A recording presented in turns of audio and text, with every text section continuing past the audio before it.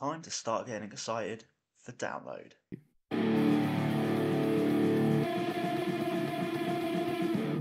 Festival season is edging closer and closer. It's right around the corner now. And we've had a little update from Download Festival. They confirmed there's going to be some changes made to the site for this year's festival. They seem to be fundamentally the same as the plans that were proposed for 2020 after the absolute washout of 2019. First up is a complete relocation of the village. After years of soggy soles and trench foot, I think 2019 was perhaps the final straw for quite a few people.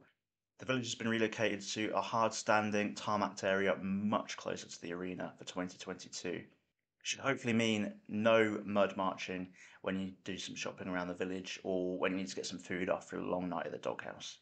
Speaking of which, we now know what we can expect at the doghouse this year. We've got the usual emo, alternative, nu metal club nights, which Alex would be very excited about.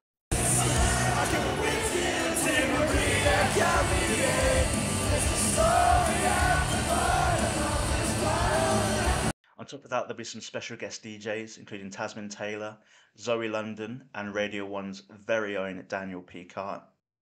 And for the first time at Download, live podcasts, which wasn't run by us, but uh, Sappening and on Wednesdays We Wear Black will be there and potentially interviewing some cool guests. So something to check out. There's been some improvements made with accessibility in mind and also some extra commitments to improve the festival sustainability. And finally, and probably my biggest complaint about download has been fixed. Hopefully. Campsites are now much, much closer to everything. No longer will you need to trek miles with all your sh. I mean, look at the map. Look how much closer everything is.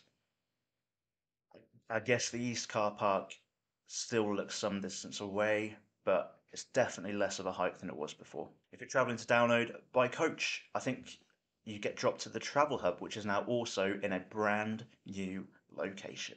Just step off the coach right next to the village, so you can easily get to a campsite, or if you're only there for the day, then it's just a 15 minute walk to the main arena, or maybe 10 minutes if you have really long legs.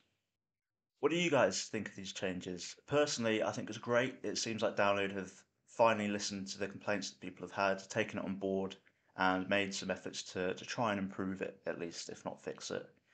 I guess they kind of had to because a lot of people did not want to go back after Download 2019.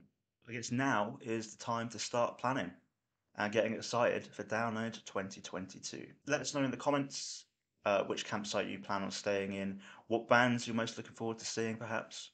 Give this video a like, follow us on socials, and subscribe to the channel because we've got a very busy summer ahead. See you later.